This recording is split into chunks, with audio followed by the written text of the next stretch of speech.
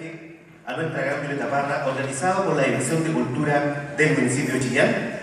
En esta ocasión le corresponde a una de las agrupaciones folclóricas más reconocidas de nuestra ciudad, con 29 años de trayectoria, difundiendo la música tradicional chilena, incorporando en su repertorio recreaciones musicales y coreográficas de la zona norte, Isla de Pascua, Isla de Chiloé y la zona central.